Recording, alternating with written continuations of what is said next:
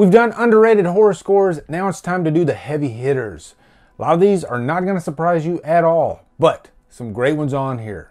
And rest in peace, Ennio Morricone. Let's do this.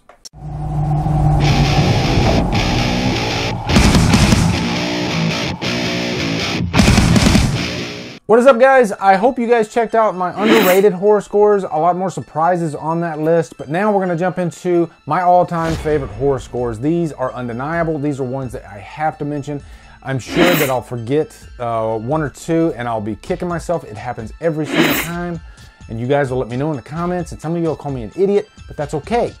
Anyway, I'm going to give you two honorable mentions, all right? First off, first honorable mention, and this might be a little bit more underrated because most people don't talk about it, but I'm to go with The Last House on the Left, uh, the score by David Hess. And the reason I like that score so much too is because it's kind of an antithesis to what the themes of the movie are. The score, um, although it does have some nice emotional moments, sometimes, especially when I first watched this movie, the score felt like it was so out of place. And so it was jarring. And the more I watch the movie now, the more I appreciate the score. And I have the score on vinyl right here, actually. One of my subscribers sent it to me, and it's just beautiful. Uh, love the score, and it's one I like to throw on from time to time. But amazing work by David Hess on this, actually. 1972, people. Next honorable mention, I'm to give it to uh, Jerry Goldsmith uh, for Poltergeist. Poltergeist is one of those scores that utilizes children in some of the moments throughout, and it's fitting because it, you know, the main character of the movie is this little girl, Carol Ann. And so the score, uh, it just hits home, you know, especially with Carol Ann and really just the behind the scenes of the movie, how Heather O'Rourke died after she did Poltergeist 3. So this score always uh, makes me feel sad inside, but it's also just a very beautiful score by the great Jerry Goldsmith. And I'm gonna give you one more honorable mention, okay? Nightmare on Elm Street. I had to mention this score just because there's a couple elements of this score that work so well, especially like the one, two, Freddy's coming for you, and you see like the children with the jump rope and all that. But also, I think my favorite is that opening theme uh, when you see Freddy like making his, his weapon, you know, making his glove. And it looks like he's like in a basement or in a sewer and it's all wet, like a boiler room.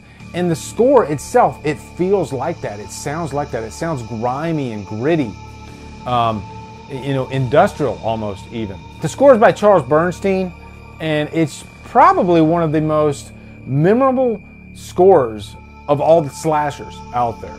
You know, it's it's cool that like the big three, they all have their own scores, and they're all very different, and the scores are so recognizable. And by the way, Friday the 13th score did not make the list just because I had to make some cuts here and there, but you'll you'll be okay with that once you see the movies that did make the list, okay? But you can call it an honorable mention if you want. Okay, number 10, The Thing, Ennio Morricone, the only guy that could probably replace John Carpenter because the guy was just so busy doing the movie that he didn't have the time to do the score. He reached out to the great Ennio Morricone, and I'm so glad that Ennio did the score for this movie. I recently got the uh, the vinyl that has the its score, but it also has like these lost cues, uh, themes that weren't in the movie. But when I think of the thing, you know, you think of that that like cadence, rhythmic type sound, the doom doom doom doom, very Carpenter sounding, and that's intentional. Ennio wanted to have some Carpenter-esque moments throughout the score, but then there's some other moments that feel very Ennio Morricone, like when you see the crew, uh, you know, of the science station standing around the thing and you know there's like a camera pan. And that's very different music than you know that, that carpenter cadence type music that we hear. It feels very uh, organic and it feels very Ennio Morricone. And rest in peace good sir you are sorely missed but you left us with some of the greatest scores ever. Number nine night of the living dead. I can't believe uh, i saw this movie for the first time i think last year or the year before that but uh, uh, Drewski, thank you so much for for pushing me to finally watch it. I have no excuse. But one thing that stuck out to me the most for the movie is that score at the very beginning. And what this score does by William Loose uh, is it signifies the impending doom. It feels like the end of the world, and we're just in the opening shot at a cemetery. You know, there's nothing positive, there's nothing reassuring about the score at all. It feels like death And that's pretty much what Night of the Living Dead is. It's death walking. And it, it really fits in with today. If you listen to that score today, it sounds like the way things are going in this world right now. But also, it's just a very effective horror score. You know, the sounds of horror, the first thing I think of are those sounds by William Loose for Night of the Living Dead. It's just a very scary sounding theme.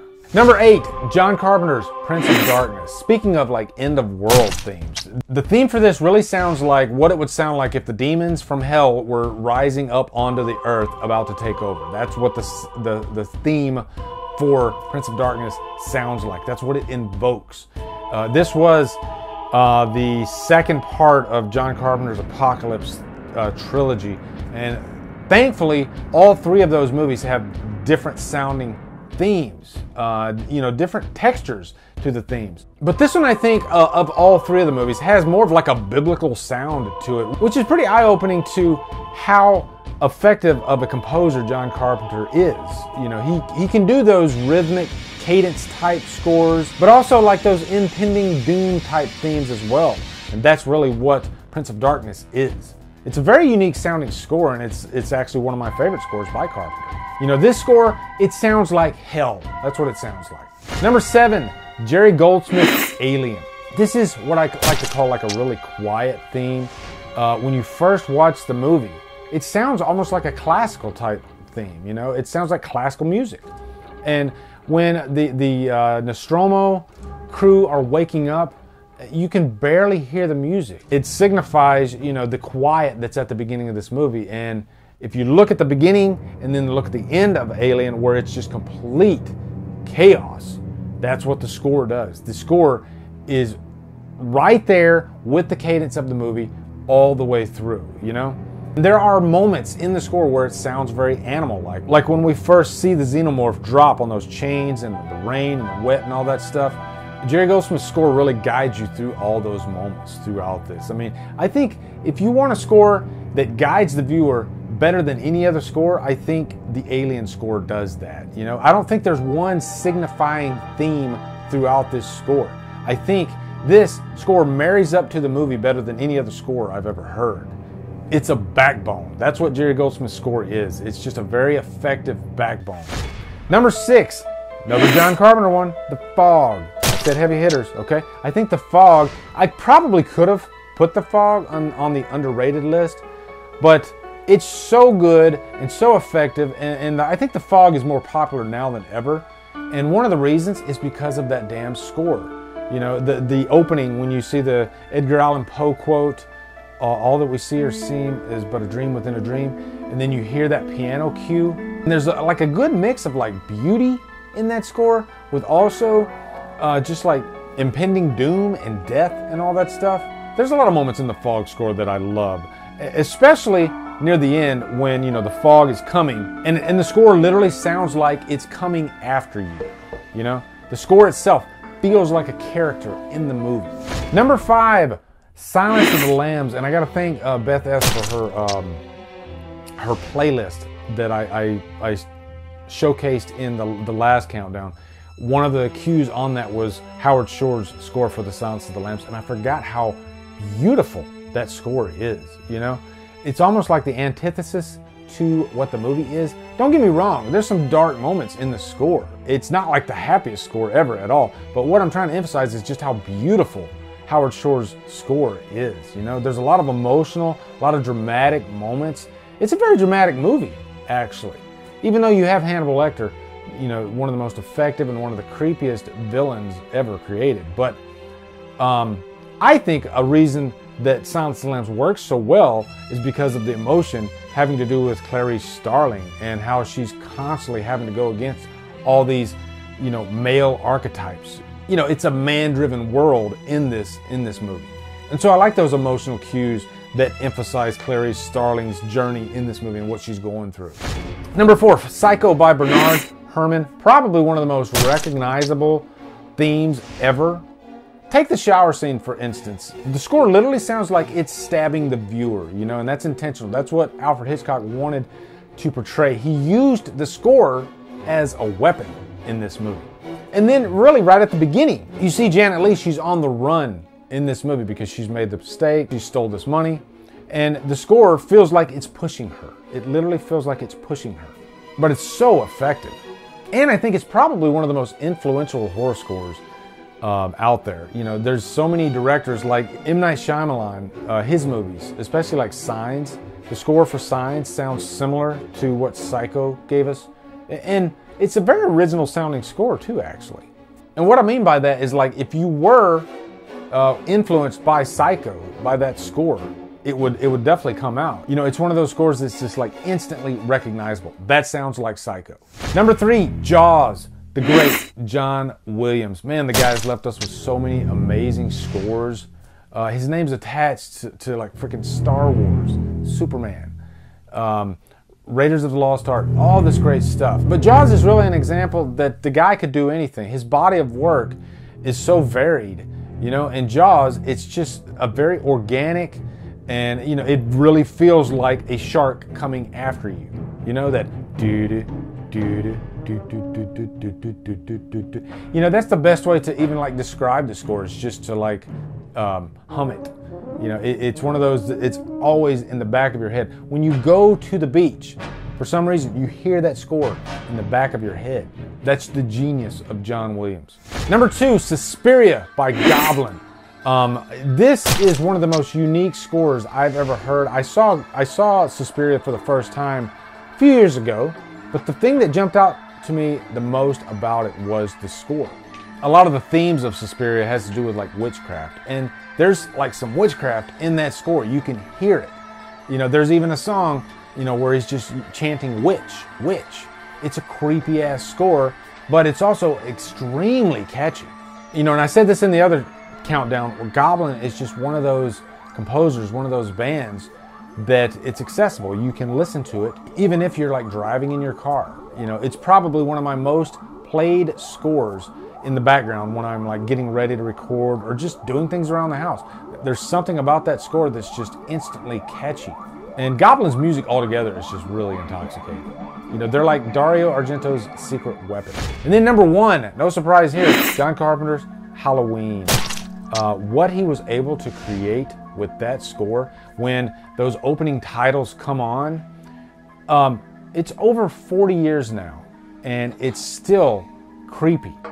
Every time I hear that score, uh, there's just something about it that's off putting. And I've heard it a million times. And maybe it's just that cadence, you know, the 5 4 time, because normally with like a 4 4 time signature, it's smooth, it's steady, it keeps you going. But 5 4, it knocks you off balance. It knocks you off balance just over and over. And that's what Carpenter's theme does. It, it like knocks you over the head.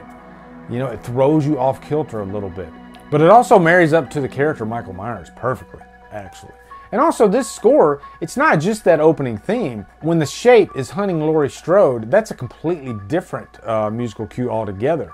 But equally as effective, actually, especially the sit up when he like sits up, and then you just hear the doo, doo doo, doo, doo doo. Carpenter was all about like layers, you know, like he would start off with like just the most basic beat, and then as it went along, he would add little things to it. And so by the time you're like at a certain point in the score, he's already added like four different things. You know, you got the and it just it puts you there with Laurie Strode. You know, you're literally yelling at the screen because the shape is coming behind her, and the music emphasizes that. The music scares you. It, it creeps you out. And, and, I will even say, John Carpenter's Halloween is probably one of the most effective scores in terms of just scaring the audience. It's a very frightening sounding theme, and still to this day, every time I hear it, it's still creepy. It still works probably one of the most covered themes on YouTube too. Like you could type in John Carpenter's Halloween theme remix and you'll probably find dozens of YouTubers copying the theme. Because it's an easy thing to play, but it's simple and so effective. You know, maybe it's the simplicity of the theme that makes it work so well. That's John Carpenter for you. John Carpenter is all about economy, and he applied that in his scores. Why go completely crazy and throw everything in the kitchen sink at your composition. Start with just the most basic theme, you know? I mean, fear in and of itself is just a really basic theme. And John Carpenter's just a master at capturing that. So anyway, guys, that's it. My top 10 heavy hitters, greatest horror scores. Uh, let me know some that I forgot in the comments. I'm sure you will. Uh, Rosemary's Baby's a great one. I, I, apologize for not putting that one on there. That one's awesome. Also, be sure to come over to Killer Flicks where we talk horror all day and every day. And on Fridays, we do Free Fall Fridays. Follow my Drumdums on Facebook, Twitter, Instagram, and Letterboxd. Anyway, guys, thank you so much for watching. Have a great day and drum them out.